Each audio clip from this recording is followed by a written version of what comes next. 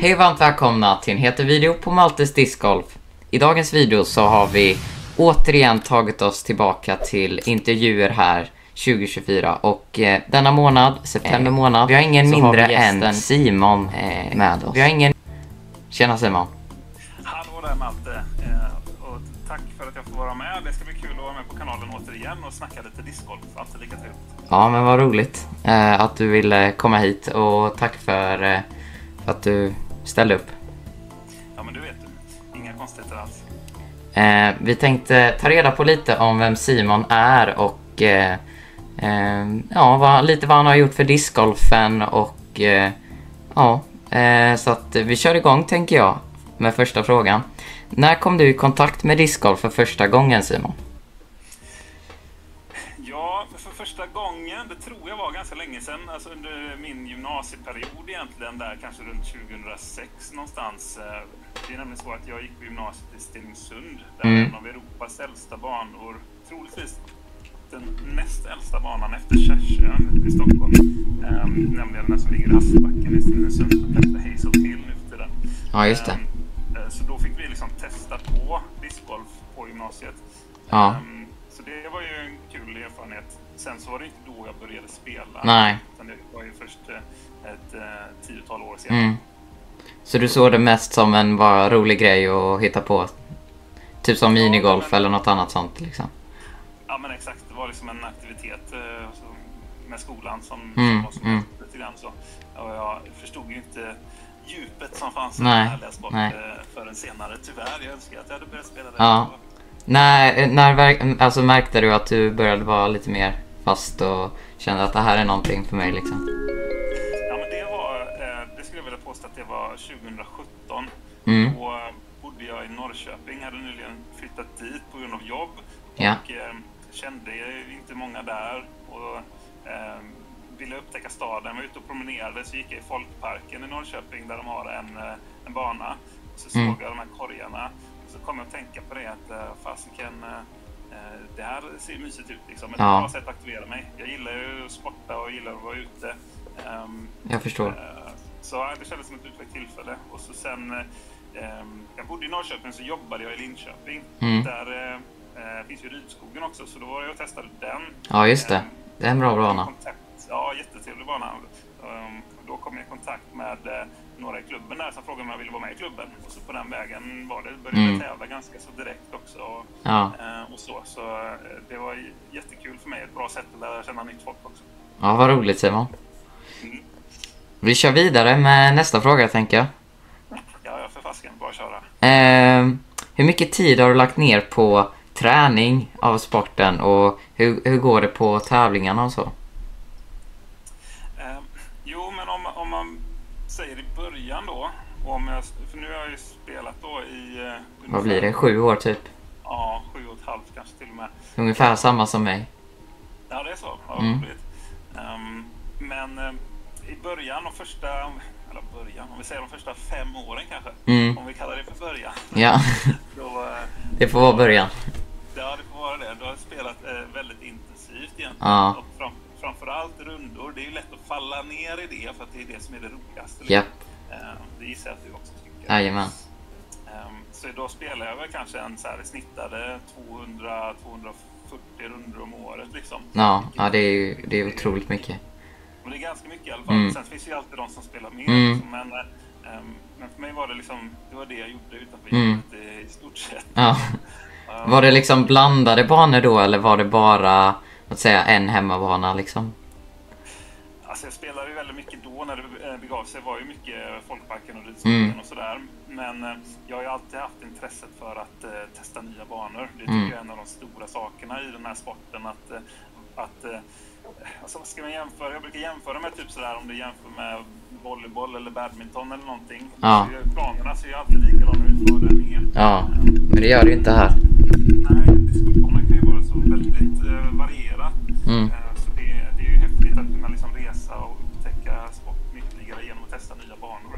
Det var roligt. Ja, verkligen. Jag håller helt med där alltså. Det är ju, om man jämför med vanlig golf så är ju banorna ganska lik, liknande liksom. Och eh, visst, det finns par 3, par 4, par 5, lite träd och bunkrar och grejer. Men själva grundprincipen är ganska samma. Att man slår ett slag med klubban. Eh, ungefär samma längd. Eh, man kan inte riktigt skruva åt något håll. Man kan inte, vinden påverkar inte på samma sätt som i discgolf. Höjdskillnader används inte riktigt på samma sätt. Så det är helt annat i discgolf. Banorna är otroligt unika. Ja, men det håller jag helt med om att eh, det, det finns ytterligare dimensioner i discgolfen som eventuellt Ja. saknas i den traditionella golfen, även om jag inte är tillräckligt insatt för att kunna eh, säga så mycket om det. Men Mm. det är min uppfattning också. Ja. Ja men toppen. Eh, då eh, rullar vi vidare här. Då har vi en fråga som handlar lite om eh, varför du tror att du engagerar dig så mycket i frisbeesporten och vad, vad det beror på liksom. Ja, en väldigt bra fråga. Eh, Jag upplever att det är inte bara jag såklart, utan väldigt många. Att Mm. det, finns, det är en sport som liksom skapar eldsjälar på något sätt. Att eh, det verkligen är många som, som brinner för sporten Mm. i sig.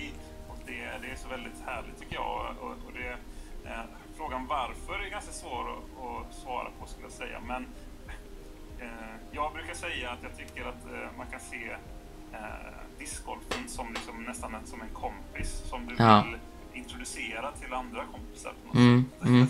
Liksom, du, du bryr dig om sporten i sig och liksom Ja. vill att alla ska uppleva den här härliga Mm, mm. och häftiga känslan, vad det nu må vara. Men det är väl inte den här kombinationen av, av eh, frihet och, ehm, och den här, liksom, om man ska prata engelska termer, så instant reward på något sätt när man kastar en, en Mm. disk då som, som du vill. Ibland händer ju ändå Ja, i alla fall. jo. Eh, liksom. Mm. Ja, men jag förstår precis vad du menar med de som inte spelar. Förstår ju nog inte riktigt på samma sätt. Eh, de tänker väl mer att ja, det där är en frisbee, liksom, det kastar man. Ja, typ så. Ja, nej, men, nej, men lite så. Det, det, det är verkligen, eh, för vissa, så, vissa förstår ju det direkt första gången de Mm. spelar. Så shit, det här är det jag ska göra. Mm.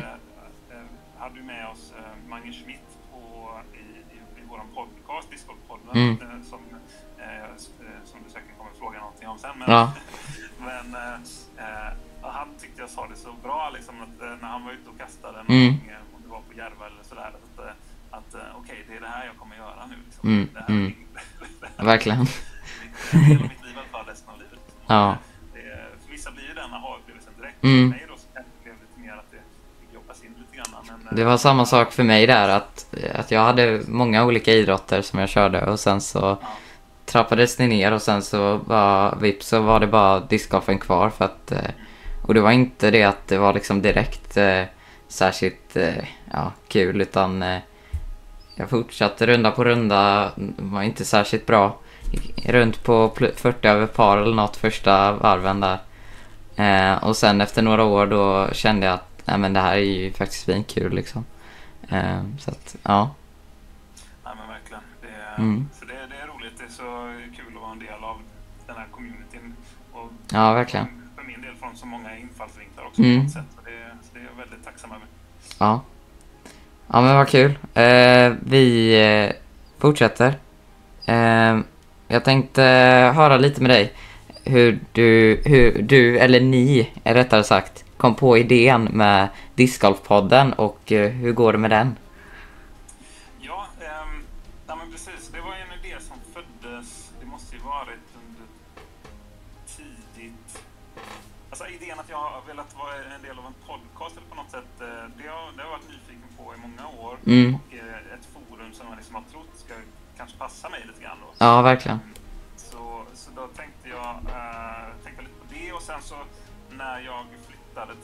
Vänersborg ehm, från Precis. Norrköping, eh, vilket var 2020 om jag minns rätt. Ja. Och då började jag diskutera med min, eh, min kamrat Rickard Sköld då, som jag driver podden tillsammans Mm. med. eh, Om det här att fasiken ska vi inte starta en podd liksom? Vi Ja. tycker om att prata och tycker om discgolf. Mm. Eh, Bra kombination kanske, tänkte vi. Ehm, Så där föddes idén och sen så var det en hel del förarbete och planeringar för att vi sen skulle starta upp under våren Mm. 2021 då tror jag det blir. Mm. Ja, vad häftigt. Ja, Rolig i idé. vi skulle åka upp till SM. Mm. Eh, Det var i Umeå då, 2020. Mm, Så både jag och han spelade då. Rickard spelade förut väldigt bra. Han låg på leadcard i tre. Oj. Det var ju häftigt. Ja, ni är duktiga båda två. Jo, ja, men viss, talang finns, men det är också mycket vilja. Ja. det, behövs också i den här sporten. Ja. Ja, ja men vad roligt att höra lite om eh, hur, eh, hur podden växte fram där och, och vad ni hade för tankar och idéer där. Men eh, hur, idag, hur ser det ut nu? Har ni fortfarande liksom ämnen att snacka om och rullar det på likadant som, eh, som för något år sedan liksom? Ja, nej, men det tycker jag. Ehm, sen är det ju mycket att både jag och Rickard har eh, så mycket projekt runt omkring och, Ja. Som delvis också har kopplat till podden, att vi liksom har börjat med kommentering och annat och, Mm. eh, och sådär, vilket gör att eh, vi eh, kanske inte släpper avsnitt så ofta som vi hade hoppats. Nej. Vi hade egentligen velat ha varje vecka och sådär, men nu blir det ju mera varannan, ibland till och med var tredje och sådär. Ja. behov. Men det, det är också en kombination av att man vill släppa en produkt som man kan stå för och, och liksom ändå sådär Ja. Eh, ja, man är nöjd med slutprodukten. Mm. Men, men däremot så, vilket jag tror också du eh, håller med om, att det är inga större problem att hitta ämnen och Nej. och så, för att det finns alltid så mycket kul att prata Mm. om eh, i Discord. Ja, vad härligt. Oavsett vad vad man liksom, eh, vilken sten man lyfter på. Ja. Är det något specifikt liksom, eh, alltså eh, åldersgrupp eller någon form av målgrupp som ni riktar er mot med discgolfpodden eller är det mer mot eh, alla som spelar discgolf? Ja, nej men jag vill påstå att eh, nej, vi har verkligen ingen sån specifik målgrupp som vi riktar oss mot. Sen kan det ju hända att det, det är eh, möjligt att vissa lyssnare i vår generation kanske kan relatera till det vi pratar om mer. Mm. I alla fall när man går pratar om sidospår och annat. Men jag, jag, jag vill tro att det, att det finns, finns något för alla liksom, Ja. eh, på något sätt. Mm. Eh, och jag vet till och med eh, ett antal lyssnare som inte spelar discgolf. Då är det ofta att de, att de kanske i grunden känner mig också Ja, från början och tyckte det var en kul grej. Mm, så de fastnat mm. lite. Men, eh, men det är faktiskt inte bara discgolfare som Nej, podden, det är är så. roligt. Ja, Det är ju sjukt kul. ja, faktiskt. faktiskt. Förhoppningsvis ska Mm. bli discgolfare. Och det är lite samma med min YouTube-kanal. Det är många som följer som inte spelar discgolf liksom. Ja, Eller som har testat på någon gång liksom och som känner mig eller någon annan som känner någon annan som känner mig liksom. Så börjar, börjar det spridas liksom. Så det är, det är väldigt roligt. Eh, Mugglare brukar jag kalla det för. Ja. Mugglare. Det får, det får vi ta upp någon gång på kanalen. Vilka som är och vilka som inte är. Precis. Ja men vad roligt. Eh, vi, vi rullar på här med frågorna igen. Eh, fortsätter här, då ska vi se. Eh, vad har varit roligt och vad har varit- varit tufft med eh, den här podden?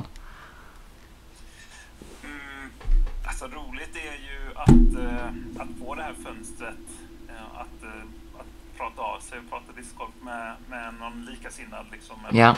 ehm, eller inte alltid håller med varandra för den delen. Nej. Det spelar ingen, större roll. Ja. Ehm, men allmänt att prata discgolf är Ja. Och sen, eh, sen alla människor man har fått träffa, om det så är, Mm. är, är live så att säga, eller om det är digitalt och prata med. Mm. Ehm, Sen har ju också podden öppnat upp dörrar liksom på olika sätt. Att, eh, att man blivit inbjuden till eh, olika ställen och får testa banor eller, Ja. ehm, eller vad det nu kan vara. Eller olika projekt eh, eller den delen folk som hör av sig om frågor och Ja, just det. genuint är nyfikna på våran åsikt i någon typ av fråga och sånt. Och det är ju, tycker jag känns ärofyllt och, och roligt. Mm, mm. Ja men jag hänger helt med på vad du menar. Det, det leder ju till andra liksom grejer. Ja, exakt. Så det, det är väl den positiva Mm. aspekten då. Sen, eh, sen är det klart att det är allt... eh, Det, det finns ju baksidor av alla mynt också. Mm, Och eh, mm. det, det, det är väl det. Men, alltså ärligt talat, det är väl med att det liksom tar, det tar mycket tid och energi liksom från när det Mm. redan liksom... Alltså, det här är Ja, det är klart. bara jag vid sidan om. eh, Och jag har ju jobb och... och ehm, Andra grejer med. Ja, precis. Och, och förhålla, förhålla sig till och så. Ja. så eh, det är klart att ibland eh, är det inte alltid jättekul att sitta och redigera Nej. ett eh, poddavsnitt mitt i natten när man ska upp och jobba om några timmar. Liksom. Men, Mm. men eh, än så länge har vi bedömt att det är värt det och det är mycket tack vare responsen från, eh, Ja. från er som lyssnar och, Mm. och så. Så jätteglada att ni hör av er bara för att det är lite som du kanske också känner till ibland att det blir ju ändå en envägskommunikation även om man kan få kommentarer och Ja, sådär. ja. Man behöver ju den här feedbacken för att känna att man vill fortsätta. Mm, mm, verkligen. Och det är bara typ positiv feedback ni har fått liksom?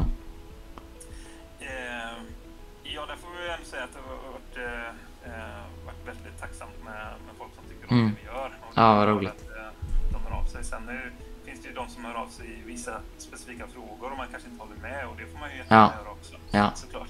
Ja, Vi sitter ju inte på någon typ av facit här utan det är Nej. det vi pratar om och det är allmänt. din Youtube-kanal eller det vi pratar Mm. om nu. Det är ju liksom våra, våra, Våra åsikter liksom. Mm. Ja, exakt, exakt.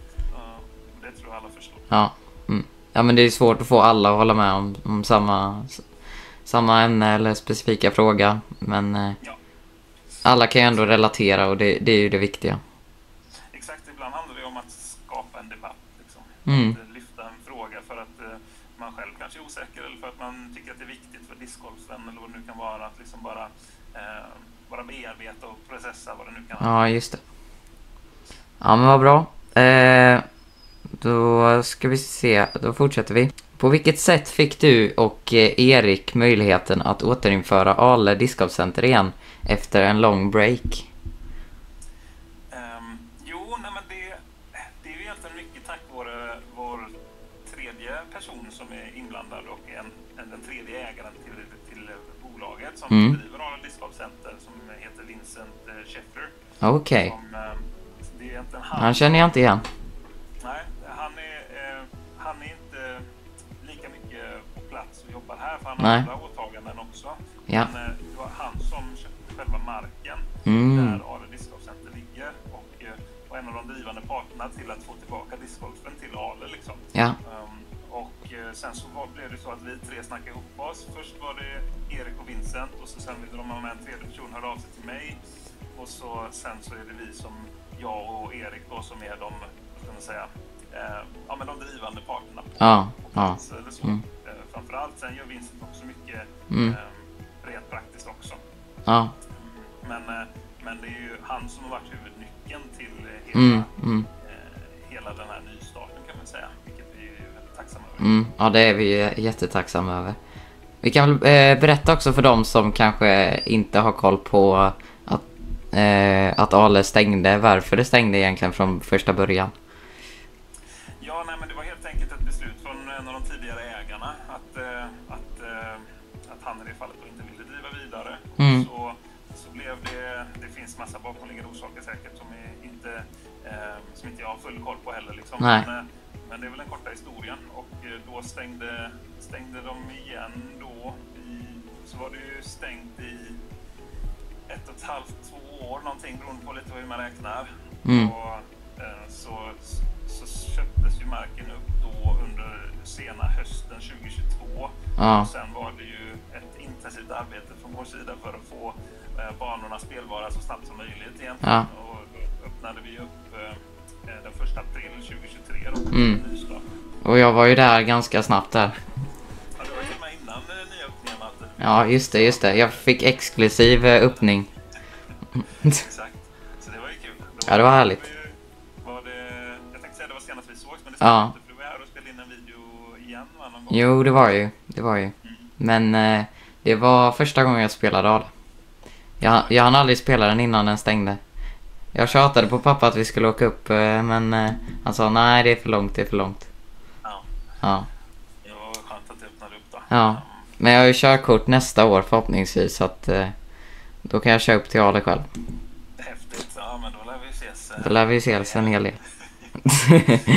Men eh, jag tänker, på Judis kan man ju i alla fall se att eh, Ale, den ligger väldigt högt. Om man tänker i Sverige i alla fall, det är ganska självklart. Sen finns det ju alltid eh, några som kanske tycker något annat eller så, men eh, om man kollar på Judis så är ju siffrorna 4,8, 4,9 typ. Jag vet inte exakt var det ligger just nu, men det är ju, det är ju höga liksom betyg och eh, Eh, vad har responsen varit generellt från besökarna och eh, på vilket sätt försöker ni utveckla banan hela tiden för att den ska uppfylla de kraven som alla har liksom när de kommer dit?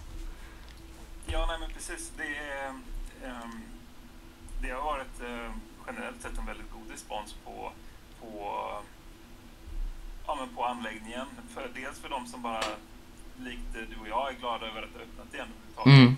Och sen, eh, sen också liksom de vad ska jag säga, tillägg eller eh, små ändringar eller den utvecklingen som är gjort av anläggningen. Att eh, det är eh, väldigt många som är glada och tacksamma över, över det som är gjort. Och det, Mm. det gör mig också väldigt glad och tacksam så att säga. Mm. Och Erik och Vincent också.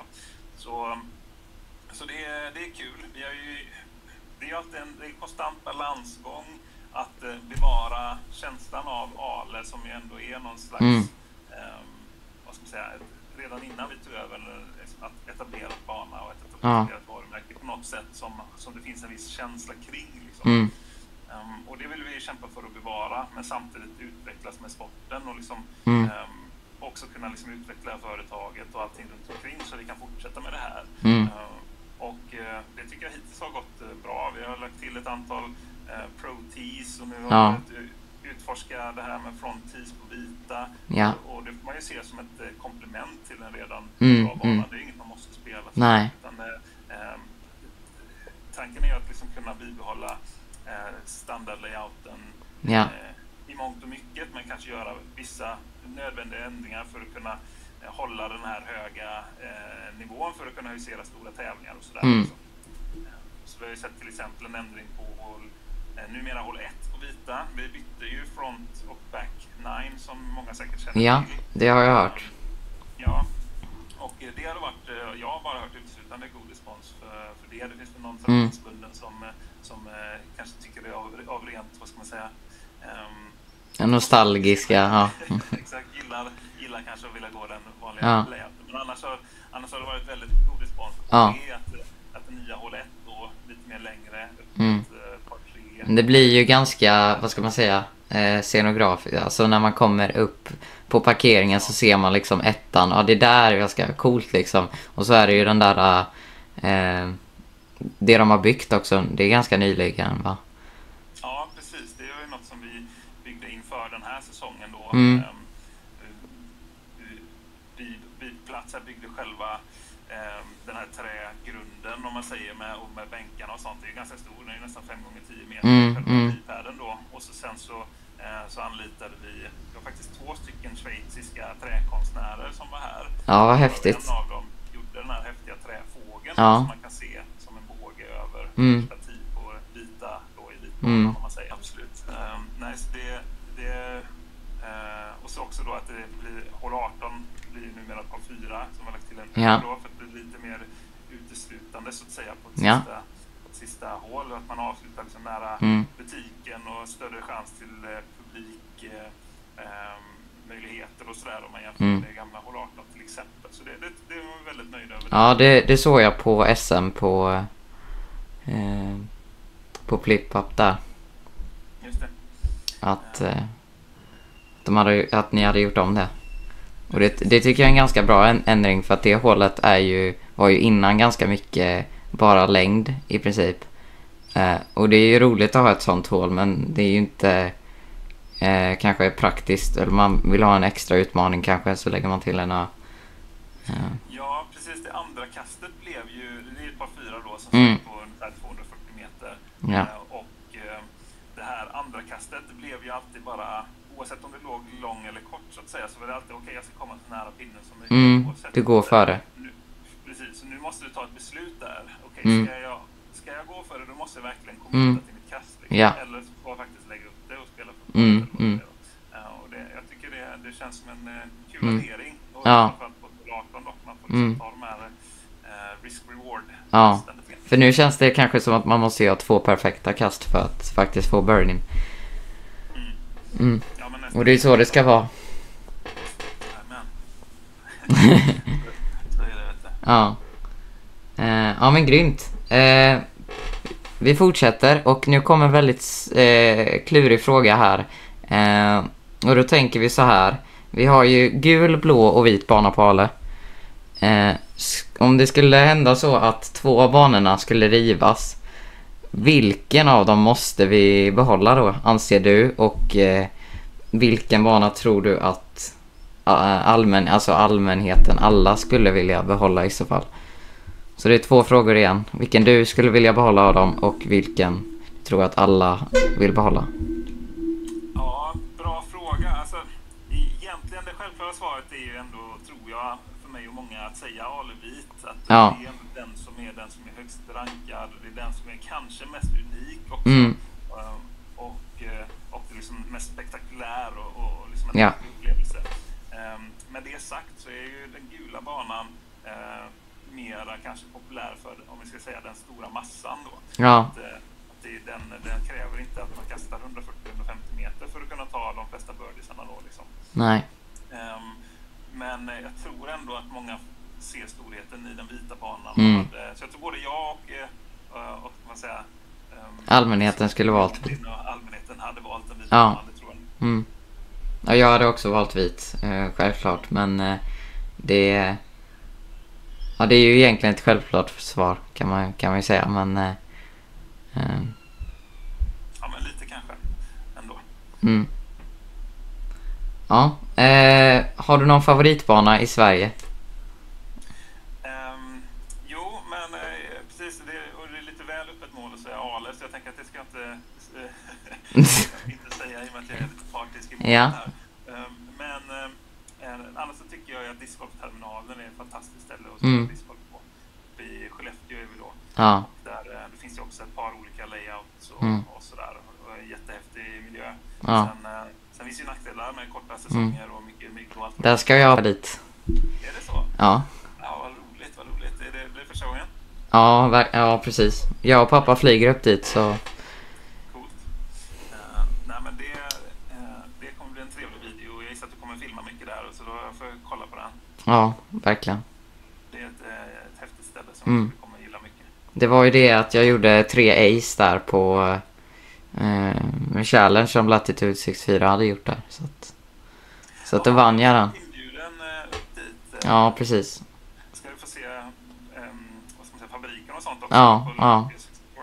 Ja, Ja, ja. så det blir spännande. Lite film. Ja, det låter ju skithäftigt. Ja, Grattis får man ju säga. ja tack. Tack ska du ha. Det var, det var många kast som krävdes för, för att ta de tre acen, ska jag säga. På film också var det tvungen.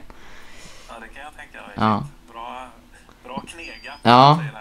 Så terminalen är din favorit då, eller? Ja, men den håller jag nog eh, eh, som en... Eh, som en eh, Hög häst. Ja, absolut. Ja. Väldigt vackert. Mm. Ja.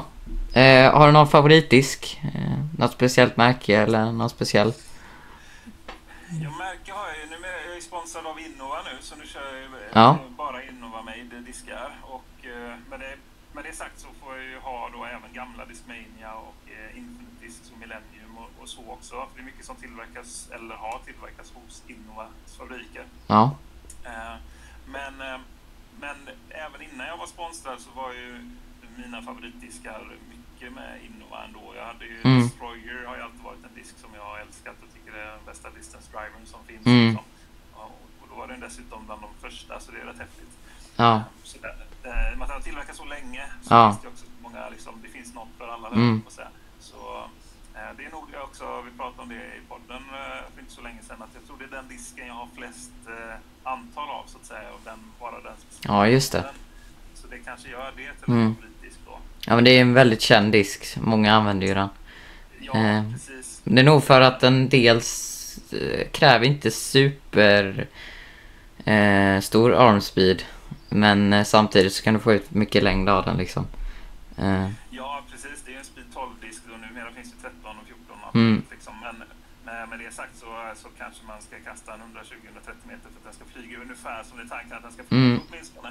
Men med det sagt så kan man ju ändå använda sig av den, eh, inte minst på forehand och Ja, liksom ja. sådär, eller s- high-kast Mm. och så. Eh, Den är en väldigt skön disk att hålla Mm. så den, den tycker jag om. Men sen finns det ju många andra bra, liksom Firebird och Leopard 3 och Mako 3 som är en ny bekantskap som jag verkligen tycker om också. Mm. Eh, Rhino och några som du säkert känner till också. ja. Eh, Så det, det finns många, många godbitar, men jag tror Destroyern är nog ettan. Mm. Okej. Eh, vad har du i PDGA-rating Simon? Eh, numera tror jag, jag har haft en lite trögare säsong, så jag tror jag har gått ner lite. Om jag minns rätt så ligger jag på 9.36 kanske. Ja. Eh, något sånt. Så det, det var något som jag inte hann komma in på riktigt när vi pratade om, eh, om hur mycket jag tränar och sånt. Mm. Man kan väl säga att ironiskt nog sen jag började jobba på Ale och är på en discgolfbana Ja. hela tiden så har jag ungefär halverat antalet rundor och, och, och ännu mindre träningstimmar tror jag. Som, Ja, det är ju, det är ju på ett sätt tråkigt.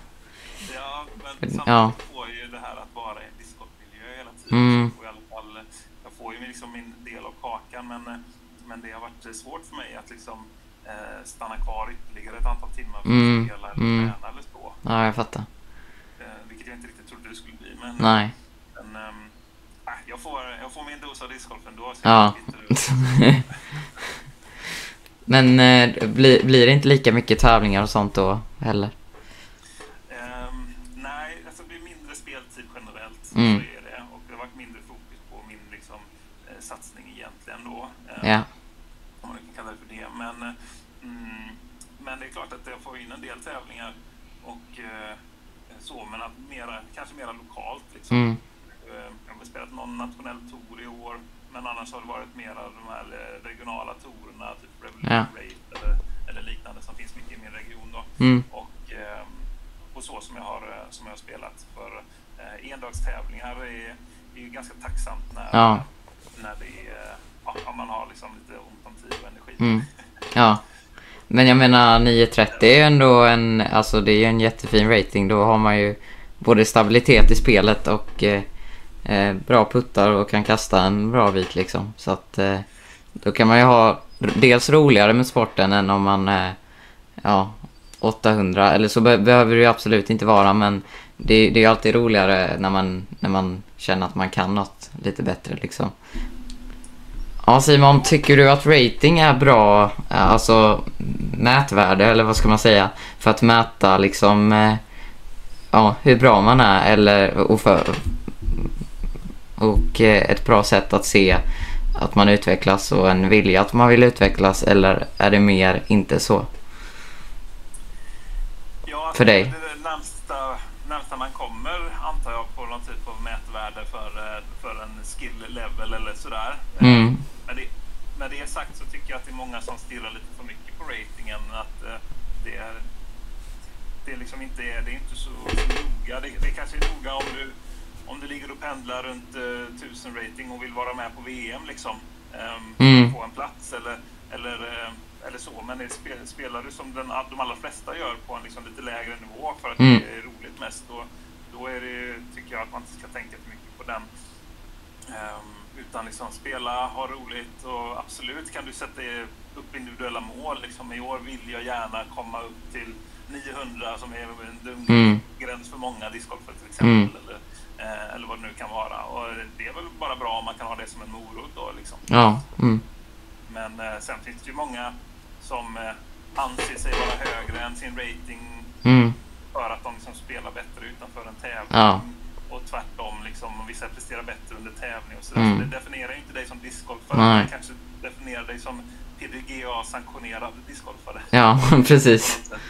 Men så är det ju. Det är ju skillnad från, eh, från vanlig golf då räknar man alla sina runder på sitt handikapp men här så är det istället så att det är bara tävlingarna som räknas och då kan man ju bli nervös eller eh, vad, vad som helst egentligen och sjabbla bort det men eh, ja, i slutändan så är det ju ändå den, den bästa mätningen på hur bra man är just eh, eh, på de rundorna man har spelat på tävling. Ja, nej men absolut. Så är det ju. Det är det Mm. vi har att förhålla oss till i det stora hela. Ja. Eh, ja men eh, grymt. Eh, har du något mål med sporten Simon? Um, ja, mitt mål just nu det är väl egentligen att fortsätta med alla mina spännande projekt. Och, och jag tror att jag kan utvecklas både som discgolfare och person genom dem. Mm. Det så är med discgolfpodden eller med eh, Ale eller mitt eget spel eller, eh, eller min Innova-sponsring eller vad det nu kan vara. Så det, Ja. det, är, det, är väldigt, eh, det är väldigt roligt att, att upptäcka nya saker inom sporten, vilket jag tycker att man gör hela tiden Ja. om det är så att man upptäcker en ny disk eller liksom ett nytt sätt att kasta eller, eh, eller vad det nu kan vara. Det, Mm. det, ja, det är konstant eh, utvecklande och, eh, och Ja. roligt i alla fall. Det tycker jag. Mm, mm. Mitt, mitt mål är bara att följa med, följa med strömmen och, och försöka vara en del i att guida Ja. eh, mig själv och, eh, och mina nära genom, genom det på något sätt. Ja, det låter som ett jättebra mål tycker jag. Ja, och det, det är härligt. Det, Mm. det tycker jag. Ja, men grymt. Eh, då har vi sista frågan. Vem är Simon utanför discgolfen? Utanför discgolfen, eh, just nu, det är inte så mycket utanför discgolfen. Eh, Nästan allting jag gör är discgolfrelaterat känns det som. Eh, Som sagt, det är inte bara liksom Ale och podden utan det är ju Flip-Up Collective med kommentering och det är, Mm, det är, det är events och TD-ande och allt möjligt. Och, ja, och sådär. Men det är det finns ju ändå ett liv utanför discgolfen trots Ja. allt. Och eh, har ju en fantastisk flickvän och sambo till exempel som, eh, som jag gärna spenderar tid med. Och, och tro det eller ej, jag har Mm. vänner utanför discgolfen också. Ja. Men eh, eh, även om det känns som att det är väldigt många vänner som är inom sporten. Mm, så, mm. Ehm, Så det är ju en del. Annars så, eh, många intressen och annat har, eh, har eh, liksom eh, inte tagit mig tid till i och med att det här har blivit så stort. Men eh, Mm. gillar eh, second hand och loppisar och sånt tycker jag är en rolig grej som jag gärna går på om jag får tid också. ja, vad kul. Eh, annars är det nog väldigt mycket eh, den, den vanliga Simon som är inne i discgolfen för att det är Mm. en så stor del av mitt liv liksom. Ja. Jag fattar. Då, eh, eller ja just det. Har du något sista du vill tillägga till mig eller tittarna på eh, kanalen? Mm. Nej, men det sistnämnda som jag, som jag nämnde med de här olika samarbetspartnerna som jag är en del av. Att eh, om ni inte har eh, tagit en del av dem så gör gärna det. Kom eh, till Ale och spela för fasiken. Ja, gör det det. är fantastiskt. Eh, eller eh, lyssna gärna på podden och säg vad ni tycker Mm. om den då. Discgolfpodden med mig och Rickard. Ehm, eller eh, om ni har eh, kollat färdigt på Maltes video på Youtube så får ni kolla lite på Flip-Ups eh, Youtube-video då till exempel. Ja. Om ni vill se lite framförallt eh, svensk discgolf och, Mm. eh, och, och så. Men annars vill jag liksom mest tacka både dig Malte som jag har med, med här. Det är jag tacksam över. Ehm, men också då alla som, som jag träffar inom den här härliga sporten och, och även mina sponsorer då, eh, Innova Discgolf och, och DG Event som Mm. jag är väldigt tacksam över som stöttar mig i, eh, i min satsning då. Ja. Så att säga. Så det, det får, jag, får jag säga tack så mycket. Då eh, tackar vi Simon så jättemycket för att du var med här på Maltes discgolf intervjuer 2024. Tack ska du ha Malte. Alltid ett nöje så hoppas jag vi ses på någon fairway här någon, någon gång snart. Jajamän, det gör vi. Eh, Och ha det så trevligt i Skellefteå förresten. ja, tack så mycket. Eh, hej då hörni, glöm inte prenumerera på kanalen så ses vi i nästa video. Ha det så bra.